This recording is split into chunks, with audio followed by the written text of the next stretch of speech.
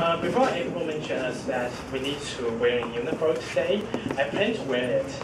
So when he mentioned this, I just think, God, that, that is a kind of damage to my creativity. Since yeah, since I just thought I want to wear my uniform. So so obviously obviously you can know that my topic is something with about my high school life. So it goes around four years ago. Yeah. So maybe I can ask something to question. Uh, I think all of you know that what's the school of this this school? Yes. Yeah. So I want to ask, uh, what's your opinion to this school? Okay, they have both, they have both girls and boys. Yes. yes. yeah. Uh, and, and blue sky. Blue sky. Yeah, blue sky. Okay. Yes, actually, you you know more than I knew before I entered this high school. Actually, in my when I in junior high school time, I kind of I never thought of entering this high school since I'm a school who always got the first prize. So I never thought I I'll enter this kind of, uh, well this school. So, but as, as all we know, life is not just about roses. So I did not did well on my BAT test. So I entered this school. At first, honestly speaking, I was quite angry and disappointed. So I was, I was so like, I would just hate to go to school and I just don't want to wear my this uniform. That's true. But after days after, I just thought, I just, I just found out I'm not special at all.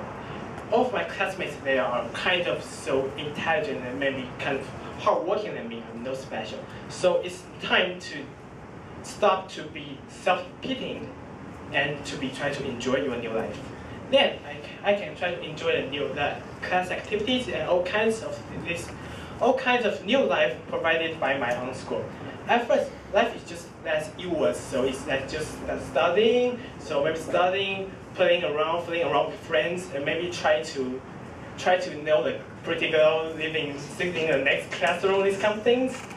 But but it's at first it's like a start for me to enjoy my new life. In my second year, since I want to study finance in the future, so I decided to uh, transfer to a language gifted class. So I think I can improve my English oral skills and other things. Sharpen these kind of skills, I think it will do well in my future.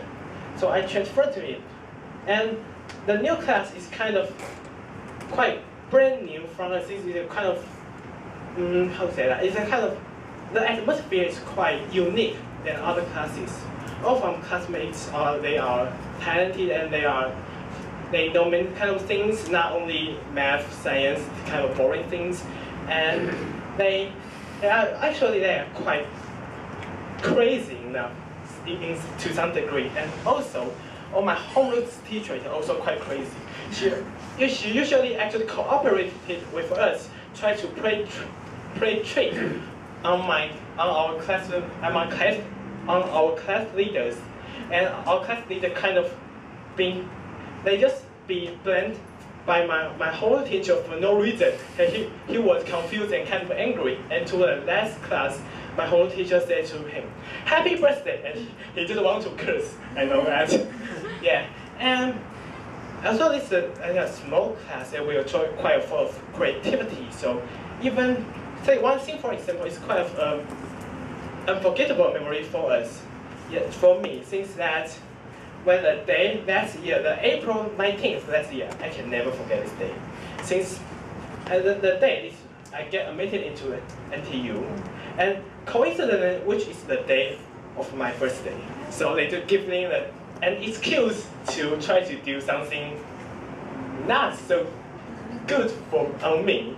Yeah, so they just try to make up a story and to for me to trick me to the to near the pool of our school, the pool which called Xinbei Pool, which Landry has is, is full of all kinds of things. Maybe I don't know, tadpoles, toads, and uh, all kinds of aquatic creatures, and maybe all kind of textbook only. Everything you can find in the that pool, and you won't be surprised. So they just try to force me to get into it by myself. I say no. I just want to negotiate with them, and they, I, I, the more I negotiate with them, and they lost patience, and then they just tried to pull me into that pool. And that was kind of so, it's, yeah, so impressed, not impressed. so, yeah, ridiculous memory. And after that, I skipped two classes to go to the bathroom to make myself clean and skip two classes. Yeah, and and my our class, although our class is quite small, we also got we also got only close friends. So we we can separate all our all our time to maybe to perform well in the class activity in these kind of competitions, and and day by day we get closer and closer. And honestly, it's the first time I really feel kind of sense of belongings in my school in toward the class and toward the school. Honestly speaking, yeah, I I can say that I do fall in love with my school. I love it very much. Yeah, I still got 30 seconds. Yeah.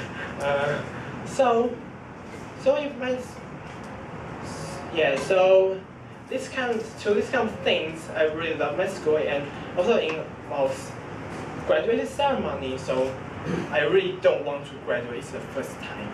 And still now, when there's a reason, I will come back to my HSNU without any, without hesitation. Just want to see my familiar friends, my familiar teachers, and see my familiar campus. And I will I, I want to use this quote from all the seniors as an end of my speech. At the beginning, it was just a school. In the end, it became your hometown. Thank you, TME.